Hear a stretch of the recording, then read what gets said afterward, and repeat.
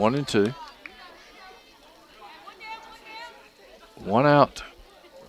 A lot to turn two and get out of this inning. Score six to five now. Still uh, favor Cedartown.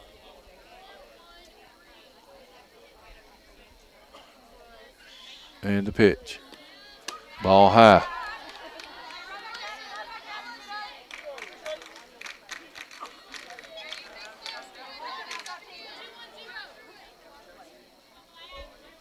Count is two and two now.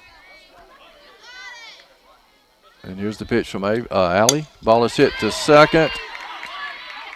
And that's interference. Oh, he, she's out. Good play at home.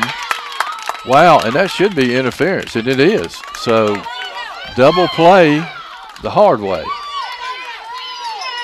Yep, so that was interference on the girl going to second. And I think it's it might be a dead ball. They might make the runner go back. Uh, no, no. Mm -mm. I, have never seen that. That's a very unique double play there, and that's the game, folks. That's the bottom of the fifth inning. Cedartown hangs on to win six to five, and they end the game in a very extraordinary fashion.